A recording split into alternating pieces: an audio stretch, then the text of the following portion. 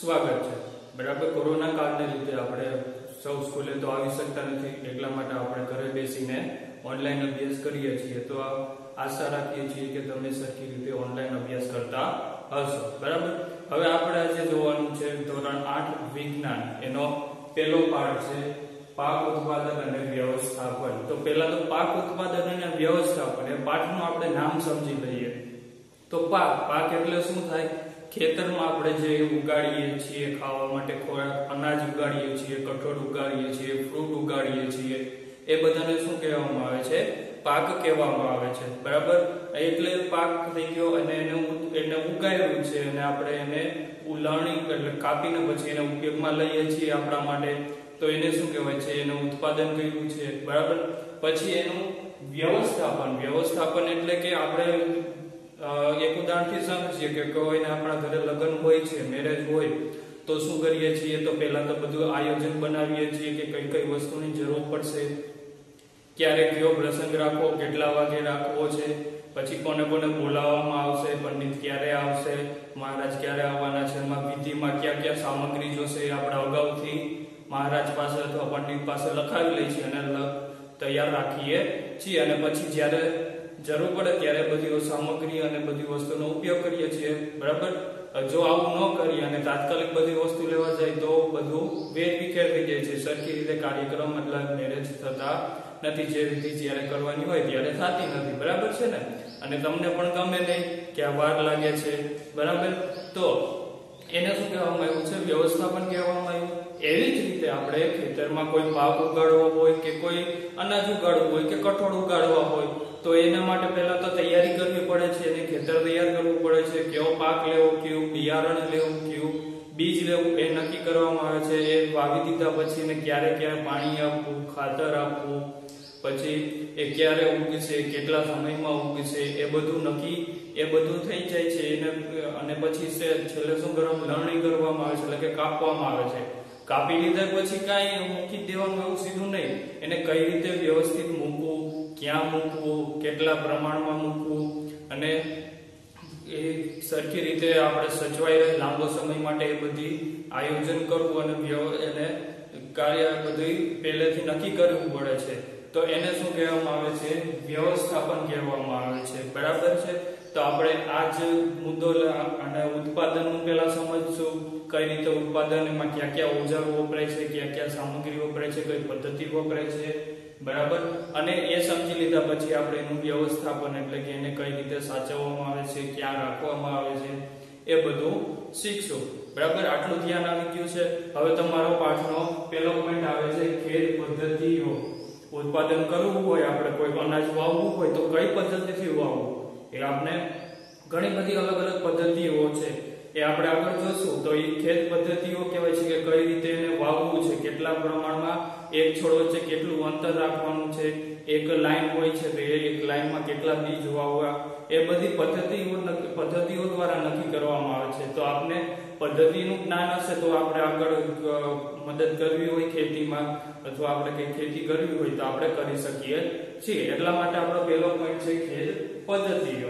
બરાબર? એ પદ્ધતિઓમાં પહેલા પેલું તો કેની પદ્ધતિ વપરાય છે? પાકની પદ્ધતિ વપરાય છે.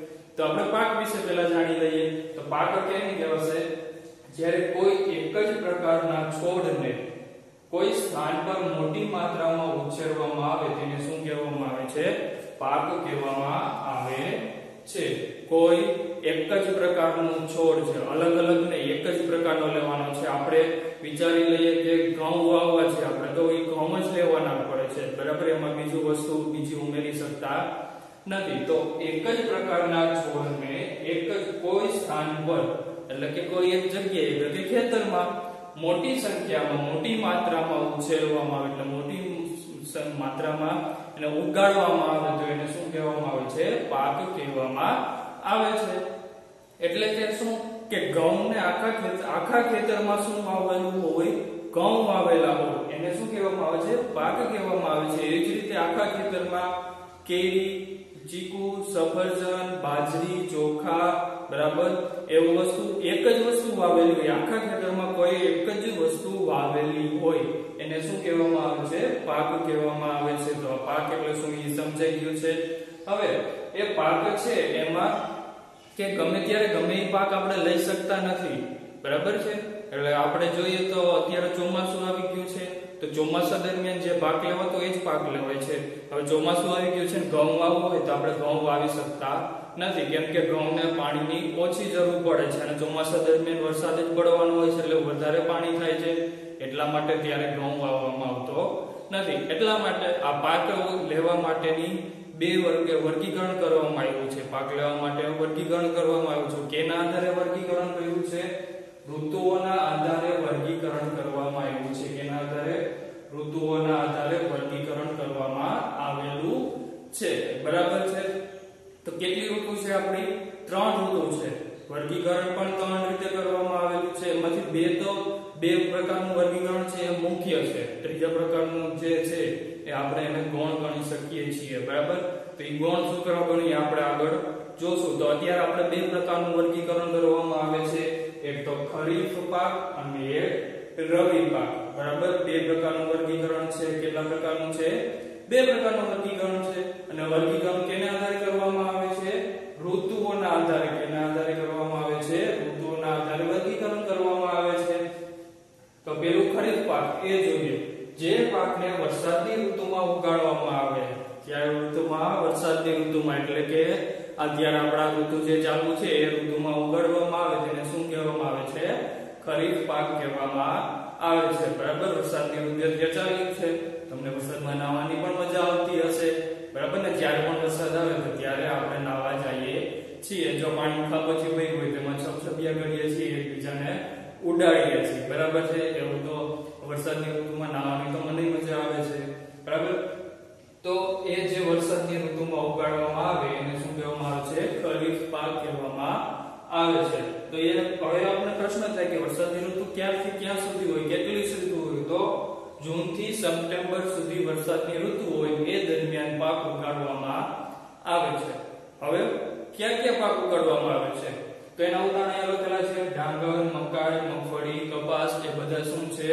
એને ઉગાડવામાં આવે છે. ક્યારે ઉગાડવામાં આવે છે? વરસાદની ઋતુમાં. બરાબર? અત્યારે મોસ્ટ ઓફ બધા શું કરતા છે? મગફળી એટલે કે સિંગ માંડવી કહેવાય છે. શું કહેવાય છે? માંડવી કહેવાય છે. માંડવી અને કપાસ અત્યારે વધારે બધા બધા ઉગાડતા હોય છે. બરાબર? તો ડાંગર, મકાઈ અને કપાસ આટલી આટલા આના સિવાય બીજા પણ છે. આપણે આટલું ઉદાહરણ રાખીએ તમે આના સિવાય બીજા તમારા પપ્પાને કે કોઈ મોટા હોય, ખેતી કરતા હોય એટલે તમે પૂછી શકો છો કે વરસાદની ઋતુ બીજા ક્યાં ક્યાં પાક ઉગાડવામાં આવે છે. બરાબર? તો આ થઈ ગયું ખરીફ પાક પછી શું આવે છે? બીજો પ્રકાર આવે છે રવિ પાક. તો શિયાળાના રોપવામાં, શિયાળામાં રોપવામાં આવતા પાકને શું કહેવાય છે? રવિ પાક એટલે કે શિયાળાના ઋતુમાં જે પાક ઉગાડવામાં આવે છે તેને શું કહેવામાં આવે છે? રવિ પાક કહેવામાં આવે છે. શિયાળા એટલે કે ઠંડી લાગે, બરાબર? સ્વેટર પહેરવું પડે છે ઓઢવા માટે ગોદડા કાઢવા પડે છે, બરાબર છે? રજાઈ કાઢવી પડે છે, ધાબળા કાઢવા પડે. તો એ શિયાળાની ઋતુ થઈ ગઈ. તો શિયાળાની ઋતુમાં ઠંડી લાગે છે. તો ઠંડી હોય ને સવારમાં પણ વહેલું ઉઠવું ગમતું નથી શિયાળાની ઋતુમાં વહેલું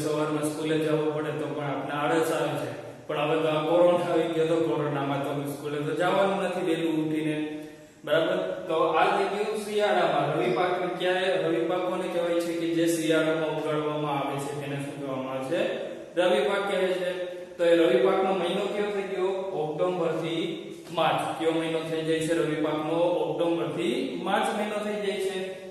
ઉદાહરણમાં જોઈએ તો ઘઉં, ચણા રાય અળસી વગેરે, બરાબર? બીજા ઘણા પાક પણ એમાં આવે છે કે જે શિયાળા દરમિયાન ઉગાડવામાં આવે છે. ઘઉં, ચણા તો તમને ખબર જ છે, બરાબર? એ મોસ્ટ ઓફ ક્યારે ઉગાડવામાં આવે છે? શિયાળામાં જ. ઘઉં તમે ખેતર જોયા જ હશે. શિયાળા દરમિયાન લીલાછમ ખેતર ઘઉં ઉગી ગયા હોય તો લીલાછમ દેખાતા હોય છે કેવા મસ્ત ખેતર લાગતા હોય છે આપણે મન થઈ જાય કે એનો ફોટો પાડીને આપણે ક્યાંક અપલોડ કરીએ, બરાબર? પછી એ ઘઉં સુકાઈ જાય ત્યારે કેવો સોનેરી ખેતર થઈ ગયું હોય છે, કેવા રંગનું સોનેરી રંગનું ખેતર થઈ ગયું હોય છે. તો ત્યારે પણ એમ મન થાય કે આપણે ફોટો પાડી લઈએ અથવા આપણે એમાં ખેતરમાં વચ્ચે ઊભીને એક મસ્તનો ફોટો પોઝ આપીને ફોટો પાડીને આપણે અપલોડ કરીએ. તો એ ઘઉં શિયાળા દરમિયાન ચણા પણ ત્યારે જ ઉગાડવામાં આવે છે. લીલા ચણા શેકીને ખાવાની કેવી મજા આવતી હોય છે, બરાબર? ઘઉં છે તો એ અડધા કાચા પાકા હોય તો આપણે એને શેકીને પોંક બનાવીએ છીએ. તો એ પણ ખાવાની મજા આવતી હોય છે. શિયાળા દરમિયાન ગરમ ગરમ પોંક ખાવાની. બરાબર? તો એ આ થઈ ગયા રવિ પાક. હવે ત્રીજો પ્રકાર મેં કીધું તો એ ગૌણ છે. મુખ્ય બે પ્રકાર ક્યાં છે? ખરીફ પાક અને રવિ પાક છે. ત્રીજો ગૌણ પ્રકાર છે કે જ્યારે ઉનાળામાં લેવામાં આવે છે. પણ દર વખતે ઉનાળામાં લેવામાં આવતો નથી. ત્યાં ઉનાળામાં કયા કયા પાક લેવામાં છે? કઠોળ અને શાકભાજી. જે પાક ઉનાળામાં થાય છે એવા પાક ઉનાળામાં દરમિયાન લેવામાં આવે છે કઠોળ અને શાકભાજી. તમે તો મારા પપ્પા પાસેથી, દાદા પાસેથી કે કોઈ પાસેથી સાંભળ્યું છે કે ઉનાળુ તલ વાવ્યા છે.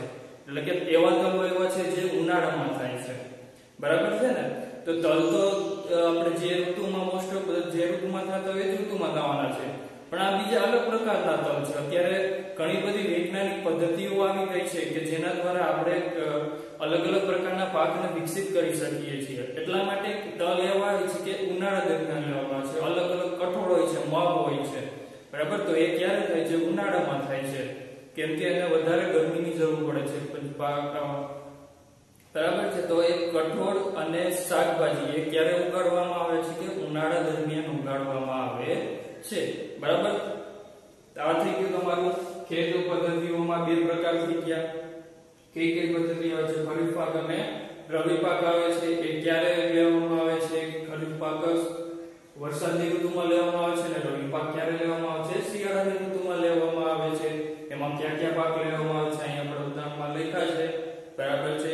હવે બીજો પોઈન્ટ આપણો આવે છે પાક ઉત્પાદન અને મૂળભૂત પદ્ધતિઓ. આટલું પાક વિશે આપણે જ્ઞાન મળી ગયું કઈ ક્યારે ક્યારે પાક લેવામાં આવે છે, ક્યાં ઋતુમાં પાક લેવામાં આવે છે, એ ઋતુ દરમિયાન ક્યાં ક્યાં પાક લેવામાં આવે છે એ જાણ્યું. હવે પદ્ધતિઓ, મૂળભૂત પદ્ધતિઓ એટલે કે જે પરંપરાગત આગળ આપણને ચાલી જ છે. પહેલેથી ચાલી આવતી પદ્ધતિઓ વિશે આપણે જાણીએ. બીજો પોઈન્ટ શું છે? પાક ઉત્પાદનની મૂળભૂત પદ્ધતિ. એટલે કે પાક પાક ઉત્પાદન કરવું છે તો એના માટે પહેલા તો એની પદ્ધતિઓ કઈ કઈ છે એ જાણવું પડે છે. બરાબર?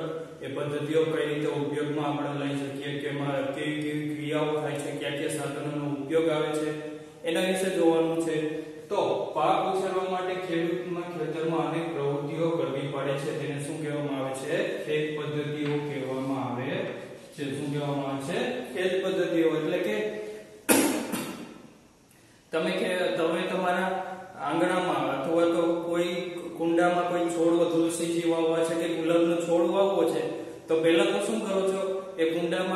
માટી નાખો છો? સીધે સીધી માટી નથી નાખી દેતા માટીને શું કરો છો? છૂટી પાડો છો ને?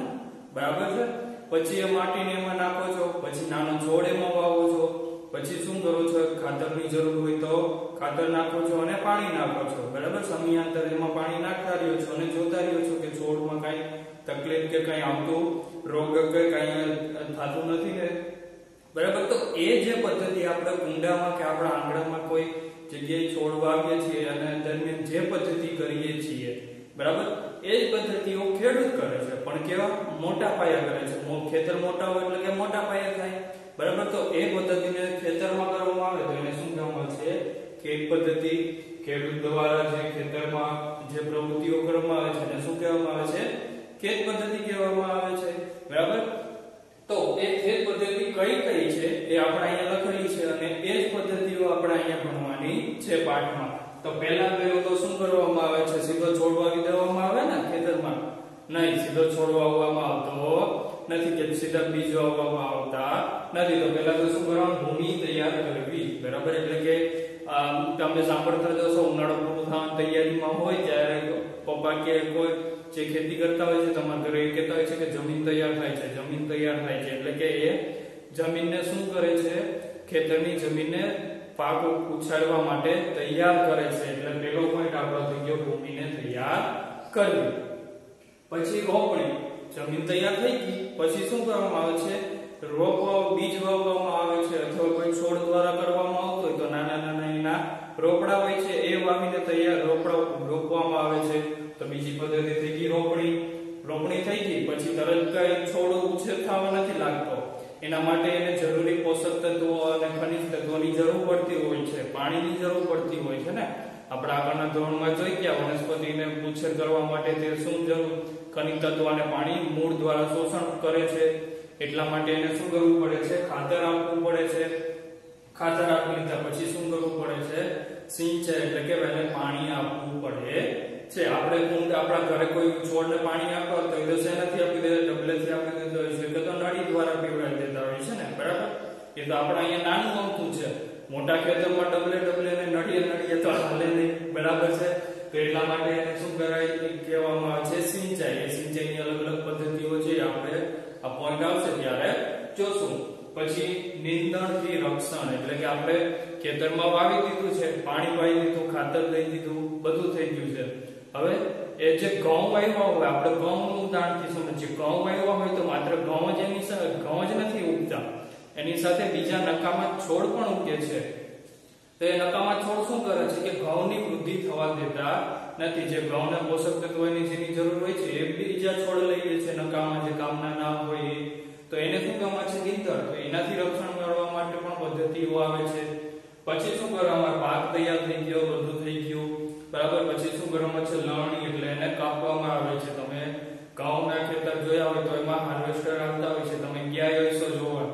બરાબર તમારું તમારું ઘઉં વાવ્યા હોય પપ્પા એમ કહે કે આજે હાર્વેસ્ટર આવવાનું છે ઘઉં કાપવા. તો તમે એમ કે મારે પણ આવવું છે જોવા માટે, બરાબર? તો આપણે હાર્વેસ્ટર લણણી કહેવામાં આવે છે. પછી છેલ્લું છે સંગ્રહ. ઘઉં હાર્વેસ્ટરમાં આવી ગયા, પછી કેમાં લઈ આવે છે? ઘરે લઈ આવો અથવા ગોડાઉનમાં રાખવામાં આવે છે, બરાબર? એમને ત્યાં ખેતરમાં રાખવામાં આવતા નથી. તો એનું શું કહે છે? સંગ્રહ. સંગ્રહની પણ અલગ અલગ પદ્ધતિઓ છે. તો એમાંથી આપણે પહેલા પહેલો પોઈન્ટ આપણે આવ્યો આટલા જે પોઈન્ટ છે સાત પોઈન્ટ આપણે છે બરાબર તો એ સાથે સાત પોઈન્ટ આપણે આ પાઠમાં જોવાના છે. એમાં કઈ કઈ રીતે થાય છે, પ્રક્રિયા કઈ રીતે થાય છે, એમાં અલગ અલગ પદ્ધતિઓ છે કે નહીં, છે તો કઈ કઈ છે અને કઈ, કેવી રીતે કરવામાં છે એ બધું આપણે આજે આમાં શીખવાનું છે. તો આપણો પહેલો પોઈન્ટ થઈ ગયો, ભૂમિ તૈયાર કરવી. બરાબર? એમાં જોઈએ, ભૂમિ તૈયાર કરવી. તમારો એક પોઈન્ટ ત્રણ. એટલે ભૂમિ તૈયાર કરવી એટલે શું? ખેતર તૈયાર કરો. રોપણી માટે ખેતરને તૈયાર કરવામાં આવે છે. બરાબર? તો એ ખેત પદ્ધતિનો પહેલા પહેલું પ્રથમ ચરણ એટલે કે પહેલા પહેલું કાર્ય શું કરવામાં આવે છે? ભૂમિ એટલે કે જમીનને તૈયાર કરવામાં આવે છે. એટલે એને શું કહે છે? પ્રથમ ચરણ કહેવામાં આવે છે. એમાં કરવામાં શું આવે છે? માટીને ઉલટાવીને પોચી કરવામાં આવે છે. એને શું કરવામાં આવે છે? માટી હોય છે એને ઉલટાવીને એટલે કે હાથેથી વળીને એક એક, એને ઉપાડીને ઊંધી રાખવામાં નથી આવતી. અને સાધનો વડે ઉલટાવીને, એટલે કે નીચેનો ભાગ છે એને ઉપર લઈ આવવામાં આવે છે અને કેવી બનાવવામાં આવે છે, પોચી બનાવવામાં આવે છે. બરાબર? એ મહત્વપૂર્ણ કાર્ય ખેતી કરવા માટેનું સૌથી પહેલા પહેલું પોઈન્ટ પદ્ધતિ, પહેલા પહેલો સ્ટેપ એટલે કે પહેલા પહેલું પ્રથમ ચરણ કયું છે? ભૂમિને તૈયાર કરવી. એમાં શું કરવામાં આવે છે?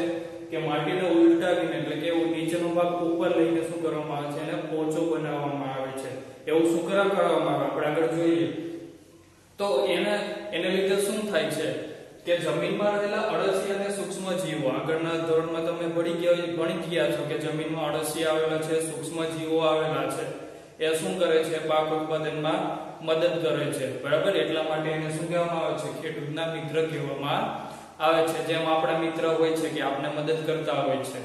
બરાબર? કોઈ પણ કાર્યમાં આપણે અટકાઈ ગયા હોય તો આપણા મિત્ર આપણે મદદ કરીએ છીએ. મમ્મી પપ્પાને આપણે મમ્મી પપ્પા કોઈ ન હોય તો આપણે એને કહી શકીએ છીએ, બરાબર? કોઈ આપણે તમને કોઈ અભ્યાસક્રમ એટલે ગણિતનો કોઈ દાખલો ન આવડતો હોય, પણ તમારા મિત્રને આવડતો હોય, તો તેને તમે એને કહી શકો છો કે મને આ શીખવાને કઈ રીતે આવડે છે, કઈ રીતે દાખલો થાય છે.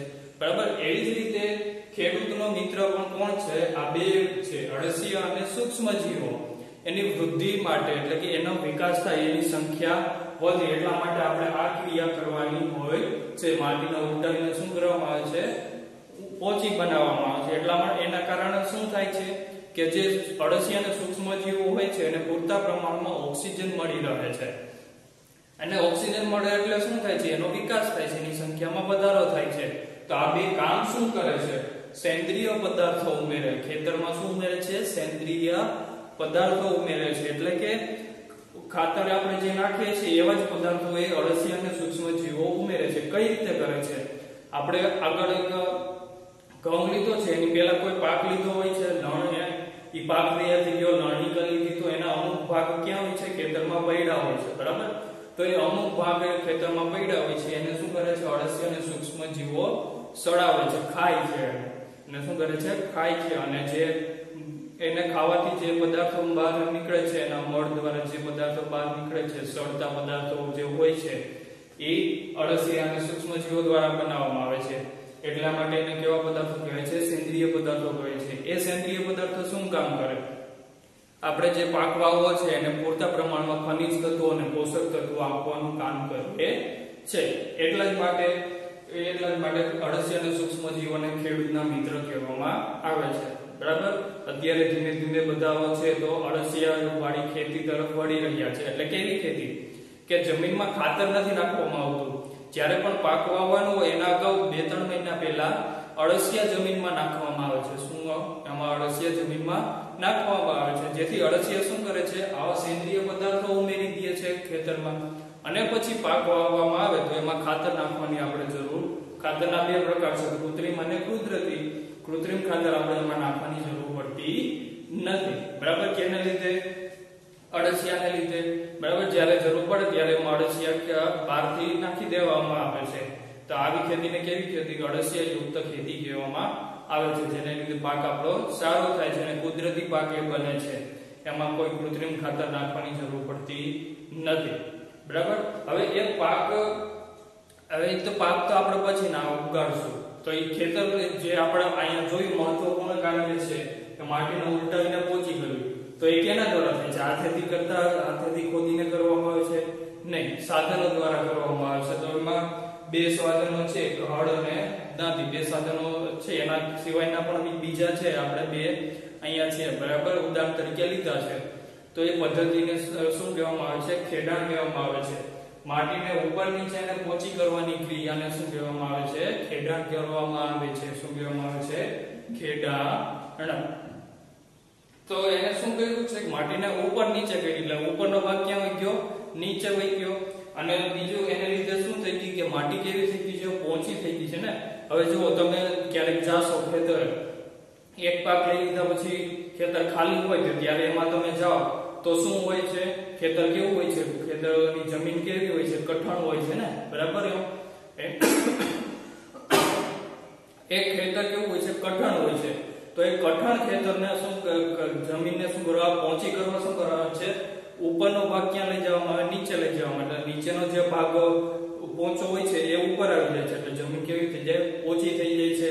તો આ ક્રિયાને શું કહેવામાં આવે છે? ખેડાણ કહેવામાં આવે. છે એ ખેડાણ કેના દ્વારા કરવામાં આવે છે, હળ અને દાંતી જેવા બીજા સાધનો દ્વારા કરવામાં આવે છે. તે બીજા સાધનો કઈ રીતે ઉપયોગમાં આવે છે, એમાં કેવા કેવા ભાગ હોય છે, એ આપણે બીજા વિડિયો લેક્ચરમાં જોશું, બીજા ભાગમાં જોશું. અત્યારે આપણે આટલું રાખીએ. તમારા માટે એક કાર્ય છે. શું કાર્ય છે? તો પહેલા પહેલું તો ખરીફ પાક, રવિ પાક એની વ્યાખ્યા અને એના ઉદાહરણો. અને કયા કયા સમયગાળામાં આવે છે? અહીંયા અહીંયા બોર્ડ ઉપર લખ્યું તો એવી રીતે કરવાનું, એવી રીતે તમારે લખવાનું છે તમારી નોટબુકમાં અને સાથે જે આ ખેત પદ્ધતિઓ છે એ પણ લખવાનું છે. આ ખેત પદ્ધતિની વ્યાખ્યા, પછી ખેડાણની વ્યાખ્યા. બરાબર? કેટલી વ્યાખ્યા લખવાની છે? તો ખરીફ પાક, રવિ પાક. બે, ત્રીજો આવી ગયું ખેત પદ્ધતિ, અને ચોથો આવી ગયું છે ખેડાણ. ચાર વ્યાખ્યા તમારે તમારી નોટબુકમાં લખવાની છે. જેથી તમને શું થઈ જાય એ યાદ રહી જાય છે. અને આપણે આગળ જતા જ્યારે જવું પડે છે, તો સીધું નોટબુકમાં ખોલીને આપણે એ વ્યાખ્યા વાંચી શકીએ છીએ. તો આજે આપણે આટલું રાખીએ. બાકીનું ખેડાણના જે સાધનો છે, કે હળ દાંતી ખરકો બરાબર, એ સાધનો આપણે આગળના બીજા લેક્ચરમાં જોશું.